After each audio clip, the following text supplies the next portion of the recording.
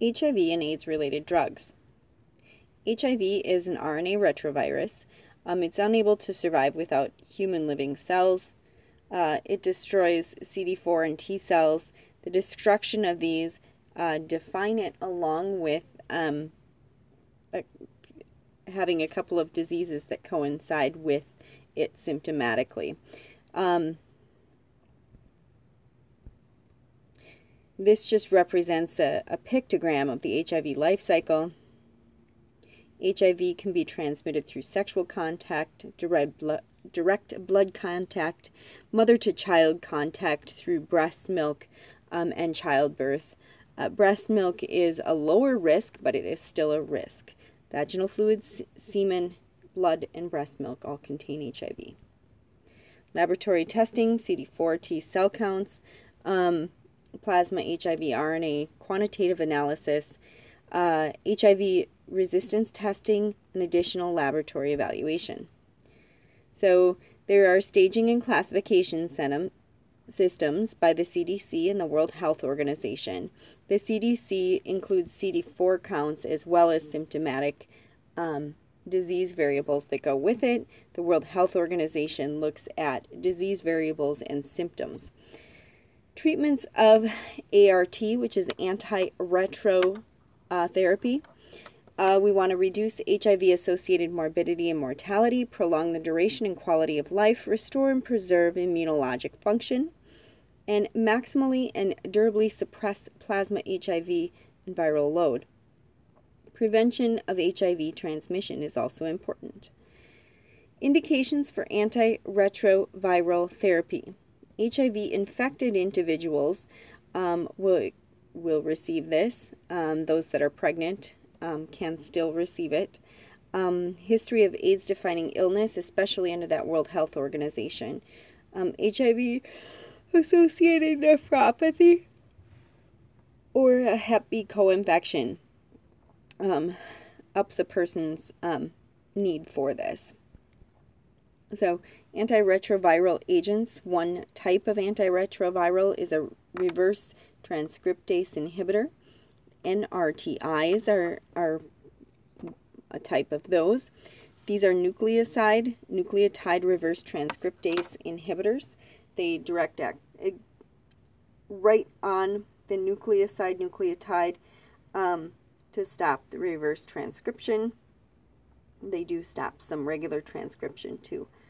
The NRTIs are taken with food except for didas- didanosine, which should be taken one hour before or two hours after meals.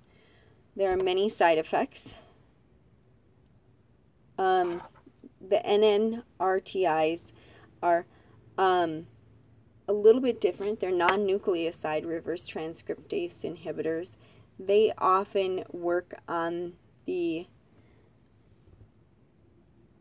on mechanisms that assist with um, that assist with reverse transcription of the nucleotide nucleoside molecule. Um, and by doing that they kind of indirectly stop that transcription from happening. Um, antiretroviral agents protease inhibitors are currently FDA approved. Um, so these are another kind of indirect way of stopping those um, HIV viruses from continuing to multiply. Entry fusion inhibitors, things like enfuvirtide. Um, just an FYI, Virtide or um, Virene or Virdine or Virens these kinds of things are virapine. Um, these kinds of things are usually antiretrovirals. This um, enfuvirtide is specifically an entry fusion inhibitor. It's the only agent approved in this class. Um, there are some others, the CCR5 agonists. You can read, read about Miraviron, Miraviric. Um, but some severe side effects can include upper respiratory infection, cough, pyrexia, um, and then also um, hepatotoxicity. Um, we, there are integrase inhibitors. There are some side effects with this that are um, tolerable in order to stop the viral load and lower the viral load. Um, side effects include headache, pyrexia, nausea, and diarrhea. So, there's something called the immune reconstitution inflammatory syndrome, and we need to talk about this at this point, related to specific opportunistic pathogens experienced by a low percentage of patients in early um, antiretroviral therapy. There are two distinct entities. There's a paradoxical IRIS, which is an exacerbation um, of the treated opportunistic infection. Um, and then there is an unmasking IRIS, which is a response to undiagnosed or um, subclinical um, opportunistic infection. The nurse's role in antiretroviral therapy um, is to assist the patient in um, developing a patient centered care plan um, to increase drug regimen adherence. Non adherence results in increased viral replication and loads, um, immune system deterioration, and drug resistance. Um, adherence to this, um, we want to promote patient adherence by, um, of course, patient centered care. We want to make sure that they understand each medication and their purpose. They know if they should be taking them with or without food, and if there are food and fluid restrictions to um, various types um, storage of medication, appropriate recording sheet, and contact persons for the questions. We always use the um, nursing process in this.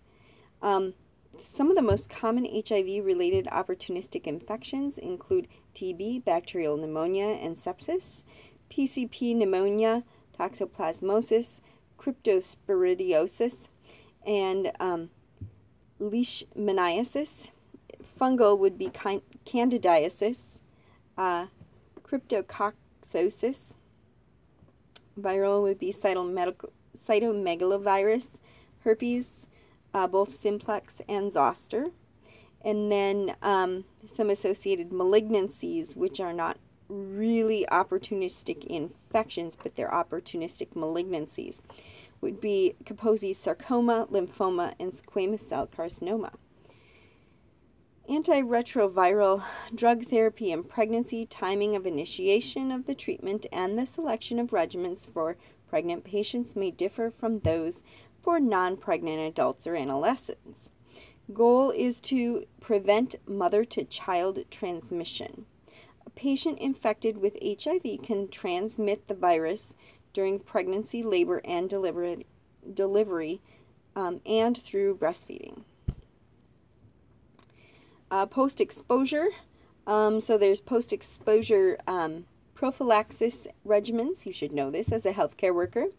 Um, some adverse reaction rates are very high, 17 to 47 percent.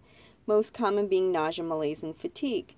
Um, and then you can practice these practice questions online as they're posted. They do have um, answers for you. Uh, best wishes.